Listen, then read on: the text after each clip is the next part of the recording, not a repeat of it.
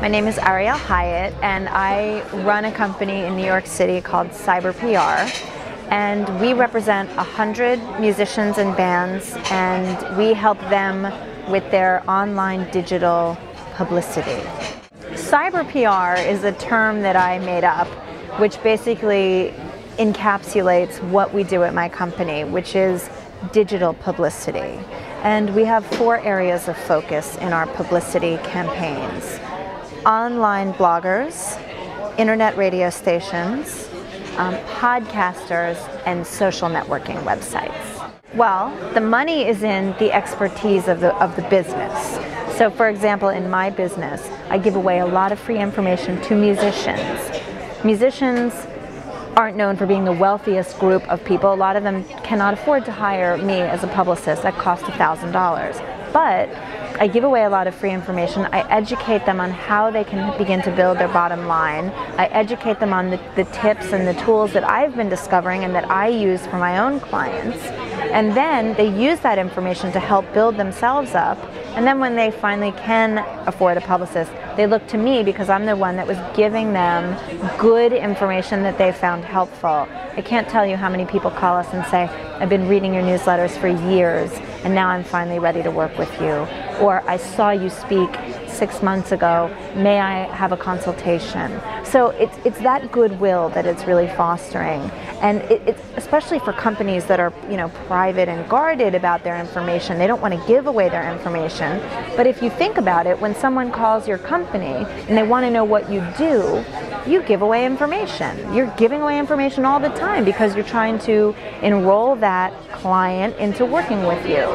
If they don't know what you do, they're never going to hire you. So the technology that, that we teach our clients is give away a little something, and if they like it, and once they're educated about it, they will want more. And that's, that's a lot of the conversation here at this conference, which is about giving away some music and offering something else that people see that's valuable and they're willing to pay big money for it, not just $20 for a CD, but Trent Reznor comes up over and over Nine Inch Nails, $350. It's a lot of money.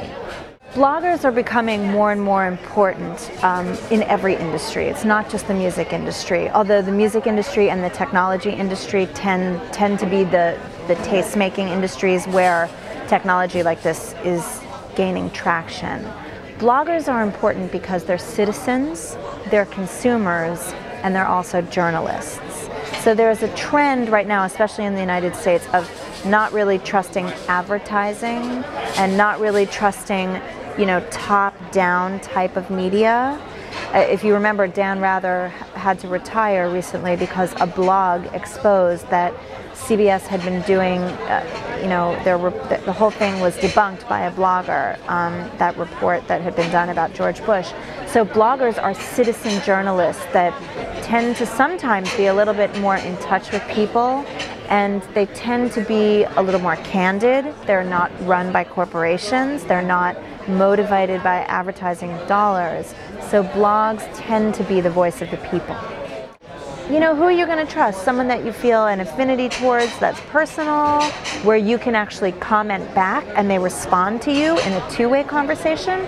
Or are you going to respond to a talking head in a box with advertising in between it? I mean, I just think in this new day and age of social media and social interaction that the internet has so amazingly facilitated that blogging is a natural outgrowth of a way of communicating with experts who are open to hearing feedback from consumers.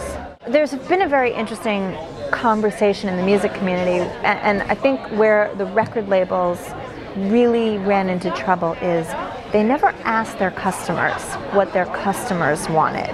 They never thought about that. They had a very um, consistent way of promoting music, top down, put it on radio, put it on TV, um, and let people kind of get exposed to it where it's omnipresent, and then they'll buy it. And that was just a simple fact.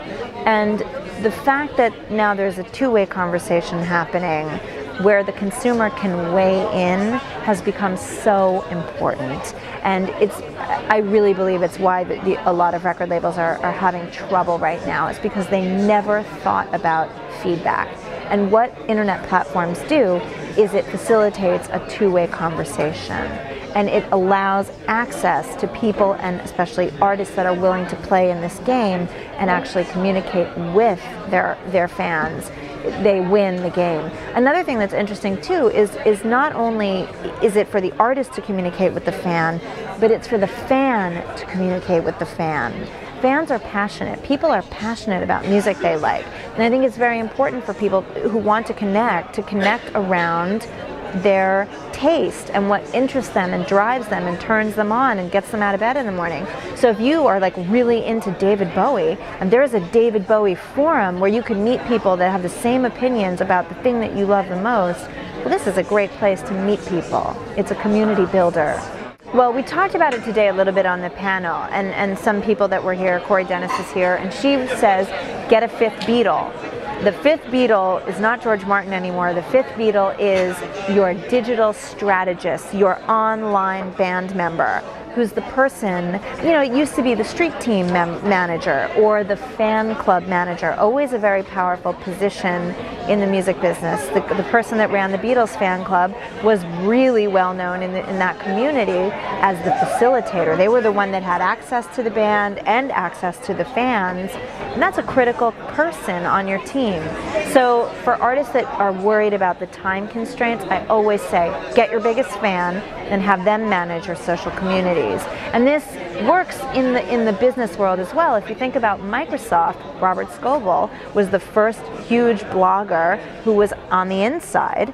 He was blogging about Microsoft, the good and the bad, the wrong and the right, and of course now he's a household name in the blog community. But it's it's companies like that that had the foresight to put someone inside their walls and admit when there were problems, admit when maybe it wasn't going so well.